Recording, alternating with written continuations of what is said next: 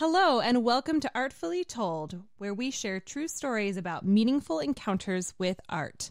I think artists help people have different perspectives on every aspect of life all I can do is put my part out into the world. It doesn't have to be perfect the first time. It doesn't have to be perfect ever, really. I mean, as long as you you're enjoying doing it and you're trying your best, that can be good enough. Art is something that you can experience with your senses and that you just experience as, as so beautiful.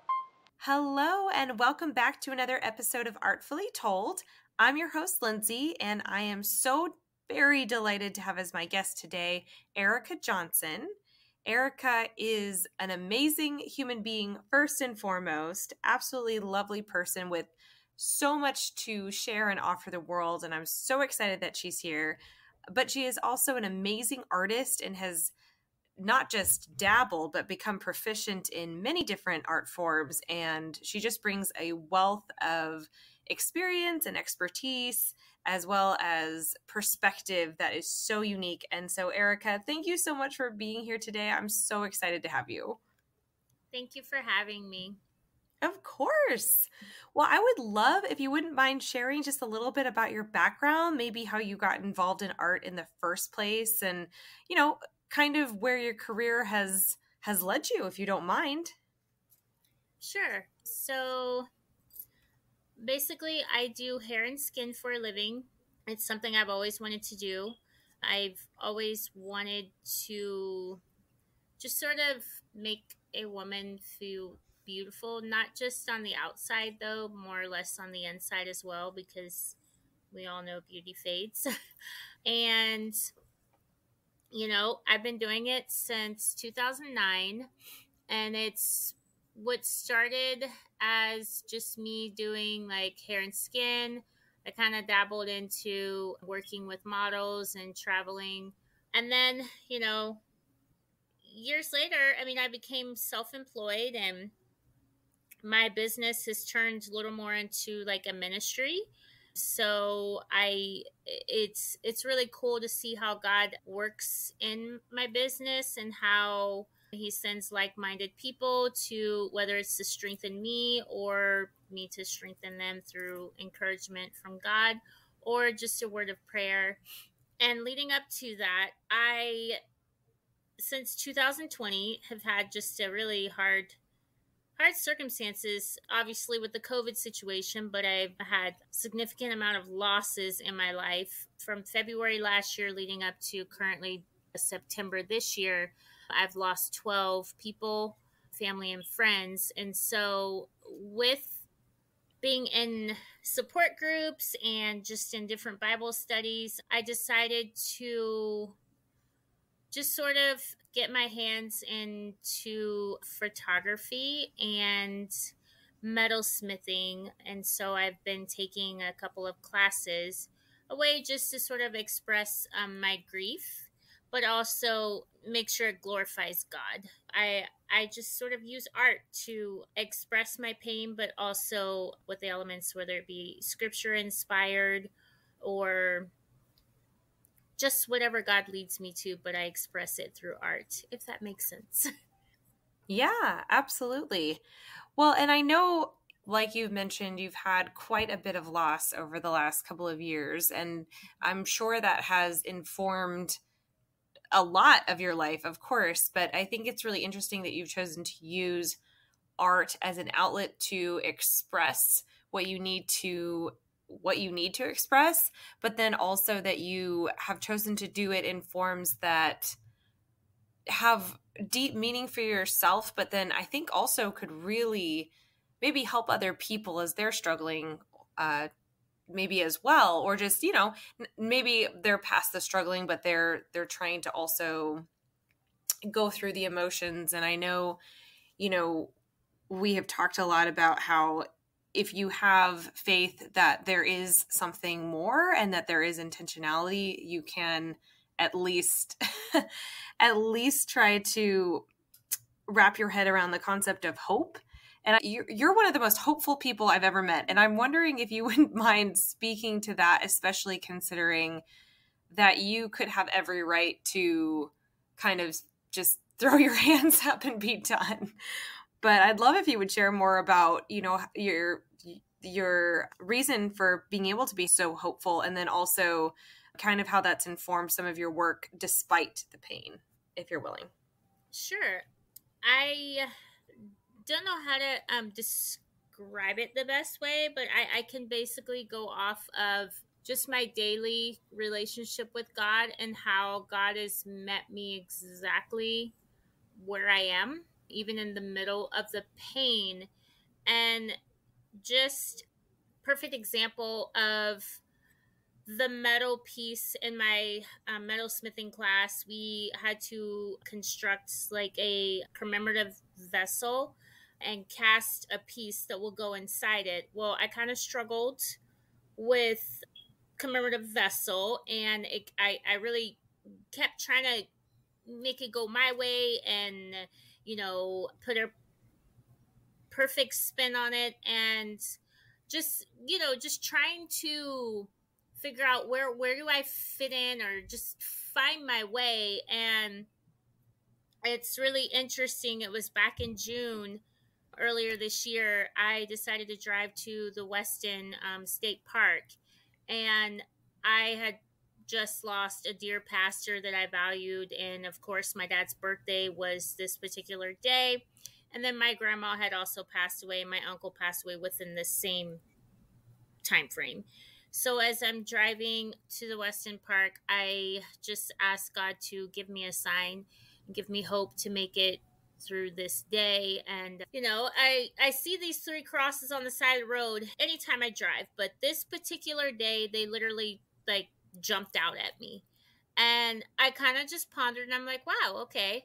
So as i get to the park i'm just sitting there just kind of listening to the wind and watching the birds fly around. And I open my little book that is from my grief support book. And as I open it, I'm reading, and it literally is speaking straight to my heart's cry about the cross and how without the cross and Jesus dying on the cross, every person that I have lost, there would be no opportunity for me to ever be able to see them again.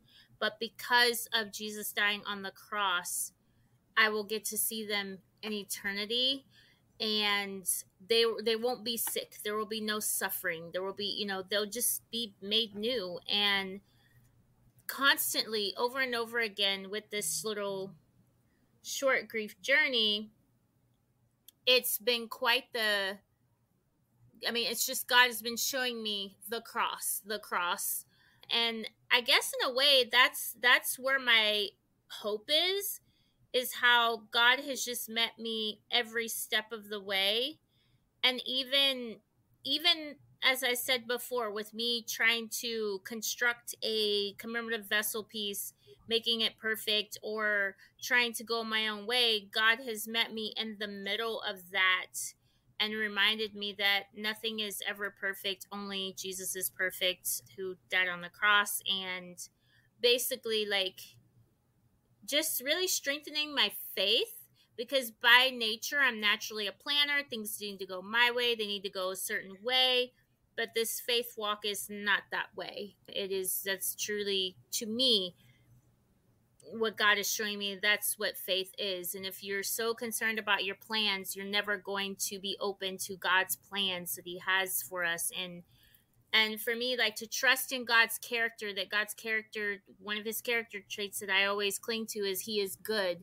So it helps me to be hopeful that even though this is painful, the beauty that God gave us a Savior who suffered so much but died on the cross and, you know, left us with the Holy Spirit to guide us and comfort us. That that to me is more hopeful and reassuring and the fact that literally it's becoming very essential to my life and just resting in God's promises. I mean, they they truly have never returned void, if that makes sense.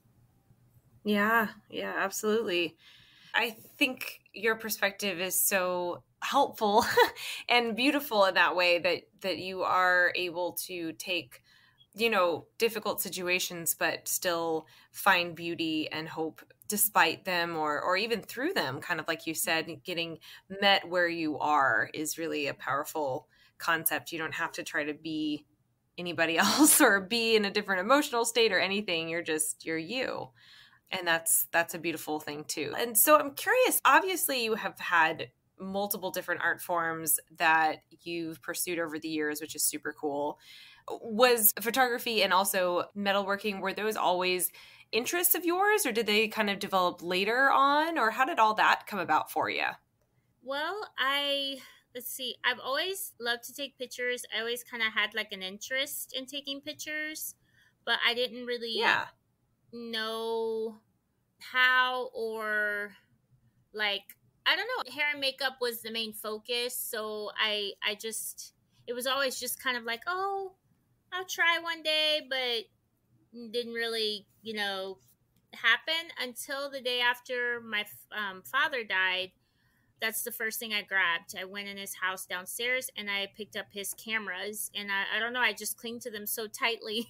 and when COVID happened, um, I, I just started practicing. I just started walking around and, you know, I just really was focusing on like, how can I, as I grieve, this is a very heavy cloud that I'm facing, and I can't really see my way out. Everything is a blur. So I tried to remind myself of like God's creation. And I would go outside and take a picture of like the birds or whatever just to keep that, even though I'm in this fog, but to keep that reminder that God's creation surrounding me uh, gives me comfort that God is with me in a way, if that makes sense, because grief is a very lonely road. And yeah. as far as the metalsmithing, I have an associate's degree in fashion design. And I really, I kind of did the dab and did alterations for people and this and that, but that really wasn't, I really wanted to be able to get my hands in like metal, like jewelry or whatever, wherever it would lead me. And so, you know, I it took a while, but this I just felt was the perfect time to enroll in a metalsmithing class. I was always, if I go to trade shows, I would sit there and talk forever to people who made jewelry, and I would just be so fascinated by it. And so, yeah, that's I would always like sketch little jewelry pieces or cut out clippings of inspirations I liked, but I was just, I guess, waiting for the perfect timing to actually take a class or try it. Yeah. Well, and like you were talking about earlier, you you love helping women feel beautiful and confident, and so your business is kind of, you know, centered on that. But it to me, it seems like that is ob- well, obviously, as a makeup artist, that is an art role through and through. But it seems like even just taking care of, you know, whether that's a haircut or a facial or whatever, that's also kind of an art form in and of itself. I mm-hmm. mean, I I don't do those things, but I feel like that is absolutely the case. Do you do you feel that way, or is it kind of more like a little more routine for you on those kinds of things? No, I I I agree. I I feel that it is a form of art. It it's always especially doing hair. Yes, because you don't you you're creating something and doing makeup or facial it's a it's a canvas you don't know what you're going to do until you're in front of the person you know and yeah getting to know the person and not everything works on every person but really taking that time. And I personally, I'm a personable person, so I like that one on one personal approach because it really, yeah. I can really see where the person's coming from and you can really just be in tune with them and know what may work and what doesn't work, if that makes sense. Yeah, absolutely. Yeah, I love that. And and like you said, it's probably it's it's like improv every single time you get somebody for a haircut because it's you don't necessarily know until they arrive. How cool. That's kind of fun. Yeah. Maybe intimidating too. I mean, it yeah. would be for me. yeah, it can be at times. Oh my goodness gracious. Yeah, well, yeah, I think that's also cool what you do. And I'd love to dive more into your photography because I know you have a specific sort of series that you've been working on. Mm-hmm. And we can't wait to hear all about that.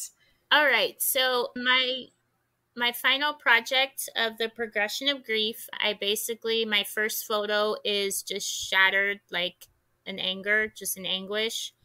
It is inspired from back when my father first died. I got in a fight with a relative, my brother, and um, I was putting a mirror in the car and it cracked. And so I, for some reason, saved the mirror. And so it became my inspiration. And I went ahead and just hit it and it just cracked. And I just basically reenacted the anger that I felt from the beginning with my eyeliner smeared and I'm looking into the mirror like as a just a reflection of pain and just how lonely it feels you know where to turn because of the family dynamics and almost losing hope if that makes any sense my second image is just like the compounding of like the tears have nowhere to go it's it's very heavy every time the phone rings or a text message comes, somebody has died, you know, and it's it's like I feel like I'm gonna explode, and I'm alone. And the third um, image is just anxious anxiety because I feel like I am in utter despair and I'm at the end of my rope and I cannot take it anymore. And with that third picture, I did write a prayer in my grief journal of asking God to help me because I cannot cling to my own strength and I need support. And I do have a friend who is like a true answer to prayer. She, I managed to capture the photo with me and her walking, and she knows the suffering that I've gone through of loss and just different circumstances in her life. We, our lives seem to parallel. She had no idea what I was going through, but she managed to send me a message on Facebook at right at that time when I had asked God about like to send like give me strength. So I was able to lean on her as another believer to kind of like carry me through as well as my support group as well. And with the support group and the support of her friendship, I was able I'm able to look at my loved ones and look at those pictures as a sign of hope and the promise that I will see them again and really being thankful because they are they were truly a gift if that makes sense in the time that they were here on earth and just being thankful of my faith and the cross because without the cross I would not have the hope to see them again. Yeah. So yeah, that's that's beautiful. Thank you for sharing that, and I I'm so excited uh, to see that project eventually. I hope I get to see it eventually because I just think what you've captured is is so impactful and such a it sounds like just a, a beautiful representation of of grief but yet hope. And i just one of the things that i have admired so much about you is your unwavering hope. And even when it gets extraordinarily difficult and just I, I can imagine there have been times when you've just felt so overwhelmed. But you continue to cling to truth and you continue to you don't give up. You continue to to grow and learn and inspire. And i just think that that's you're just amazing. you're so resilient and I know it comes from your strong faith background. Well, I'm I'm so excited, you know, for you and this journey and I know it's not not a fun one necessarily, but I think what you're doing is is so like I said inspiring and and so I'm I'm just curious, uh, do you obviously obviously we're living in an odd time, but are there future plans that you have as far as maybe, you know, continuing with the photography and metalwork and or with your business? Do you have any sort of things that you're looking forward to? Yes, I I mean I I'm open to wherever God is like leading me because this is a new normal. So, as I said earlier, I know that this pain is purposeful. I am hoping that it will form into a ministry and that hopefully I can be able to continue to express through arts and maybe it'll open doors. I'm not sure which doors, but open more doors, hopefully into a ministry involving others and collaborating, whether it be that or having a online forum for people to, you know, read or see the pictures. Most importantly, my grief project was most real for me that it is okay to be broken. And I feel like in this society, we have to always appear like we have it all together. And that's not, that's not really healing or helpful.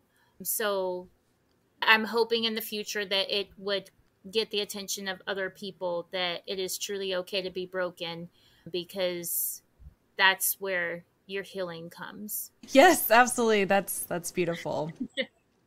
well, I'm sure that there are some of our listeners who maybe are local would love to help support your business and or would just love to connect with you. Is there a way for them to do that?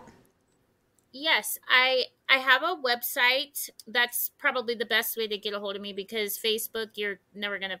It's kind of hard to find. There's so many Erica Johnsons. So my website is www.ericajohnsonhairandmakeup.com. Perfect. Thank you. And then there are a couple questions that I love to ask my guests if you're okay up for that. Yes, sure, sure. Awesome. Okay. So, first of all, what is one change that you would love to see in the art world? And that is, I know, an extremely broad question, but essentially, what's one thing that you've noticed about, could be about, you know, an industry that you're currently involved in, or maybe it's about, you know, what you witness as being maybe something to change or essentially what is one thing that you really would love to see be different about the art world. I i, I think uh, a lot of times you see the beginning of something the middle of something or the end of something but you don't see all together like the growth if that makes sense. So i would have to say maybe like in the arts like the the progression of growth and doesn't need to be perfect more or less being open to going with the flow and being okay with if i started if i had the idea in my head of this but it's starting to look like this being okay it being whatever it is supposed to be. Don't try to force it. Don't try to if it's going like this, then go with the flow, if that makes sense. Because truly, we are, I mean, to me, art reminds me of life. You think you're in control, but you're really not. Yeah, absolutely. I, I love that. I absolutely agree. And then, is there any particular art form that you have maybe always wanted to try but haven't dabbled in yet? What would that art form be? What would you like to try next? I would like to try uh, maybe ceramics. I I just I just think it would be fun and therapeutic. Just really, you know, clay and forming something. So yeah. Yeah, absolutely. I think that would be a lot of fun and probably super challenging, or at least for me, it would be. Yeah. yeah. Yeah. That's awesome. Okay. And then my final question is at the end of your life, if you were to be able to witness or participate in one art experience for the last time, what would you choose? Hmm. One art experience.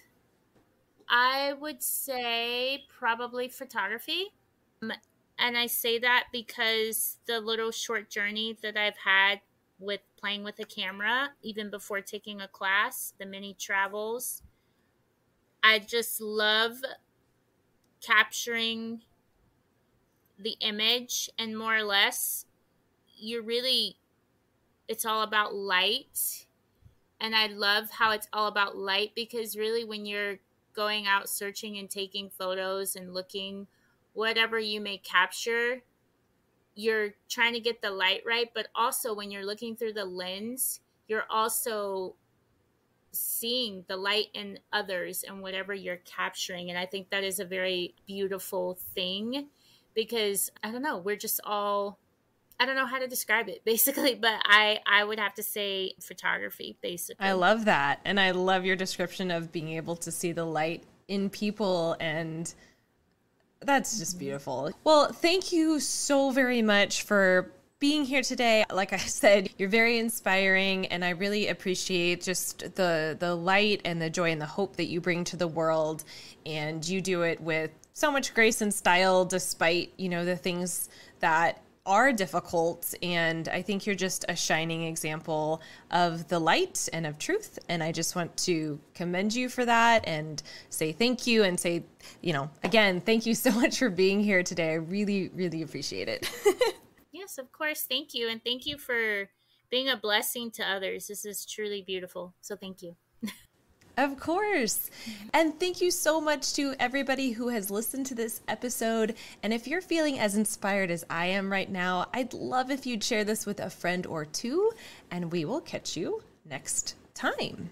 If you have a story to share with us, we would love that so much. And I hope your day has been artfully told.